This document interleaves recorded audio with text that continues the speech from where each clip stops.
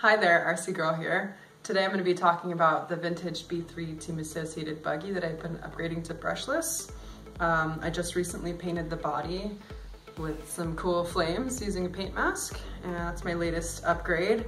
But I've been having an issue with my servo not functioning correctly. It's been running at half the voltage. So it looks to me that the BEC or the voltage regulator inside the ESC has been malfunctioning. So today I'm gonna be talking about installing a BEC. This BEC can control the voltage at either five volts or six volts. So I'm gonna show you how to install this. So as an example, um, I've already installed a BEC in the Basher Sabertooth Truggy. Just repainted this body, so that'll probably be in another video. So another great thing about a UBEC is that you can pull higher amps and run more devices from it. Um, I just installed two fans and a heatsink on the motor, which has been running a little bit hot. I'm also powering a fan on the ESC, and I just got a super cool high-speed servo um, that can run at 7.4 volts. So um, it's that's been it's been really good. So now I'll show you how to install this in the B3 buggy. So right now I'm running a, a two cell battery and it's uh, run at 7.4 volts, which is directed to the ESC, which brings the voltage down to 4.8. Sends it to the receiver and the servo. So a little bit about servos. You wanna make sure you check the operating voltage. This one is uh, operates at 4.8 to 6.0 volts.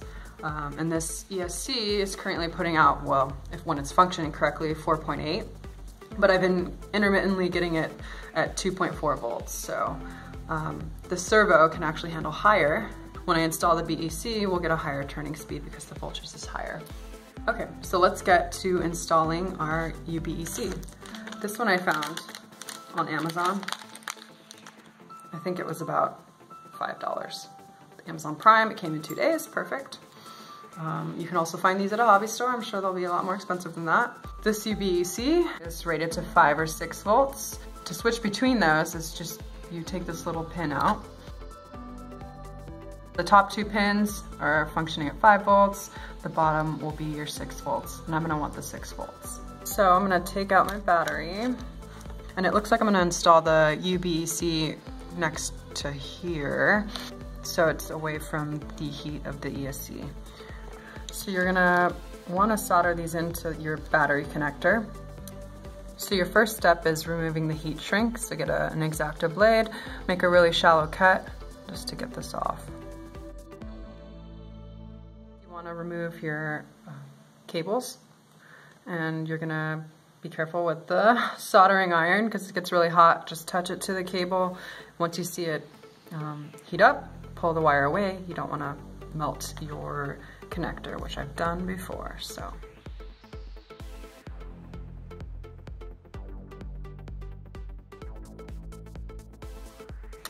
So then now that we have this disconnected, we're gonna solder in our UBEC. Obviously the red to the red, black to the black.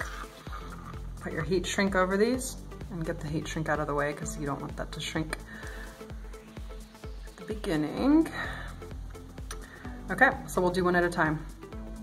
So this isn't my favorite part, but if you don't have one of these, uh, use a friend or someone else that can help you out, or you can do it yourself, but I have this, so you're gonna have this one on the bottom, slide it in, and resolder it.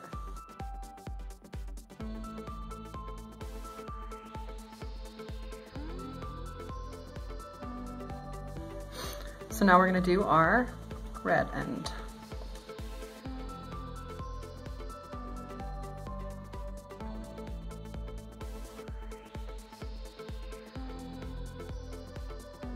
Yep, everything's in pretty solid. So then you bring your heat shrink up, and get your heat gun. Shrink that right up.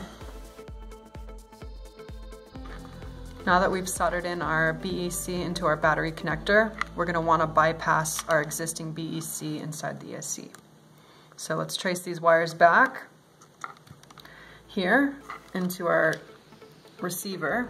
I've already unplugged some of them, but for now, um, just disregard the signal wire and we're gonna wanna remove these two, which are coming from our, our existing BEC and reroute those with our external one.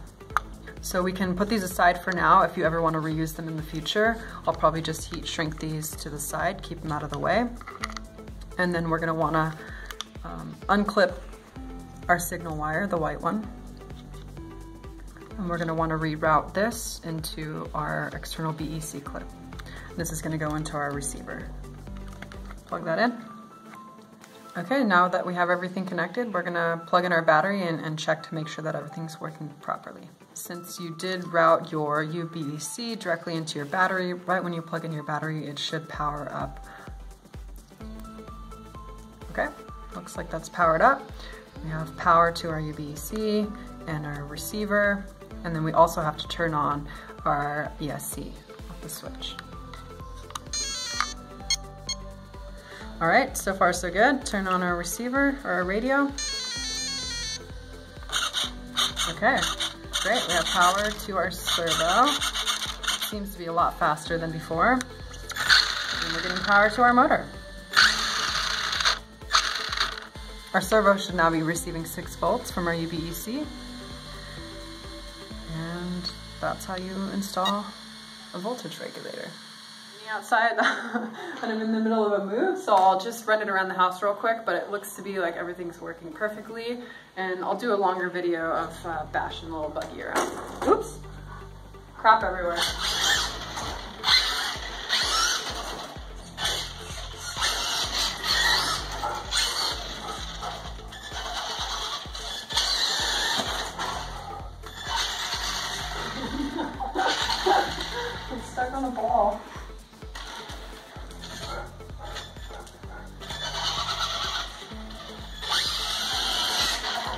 And our UBEC is falling off the side because I haven't tied everything down.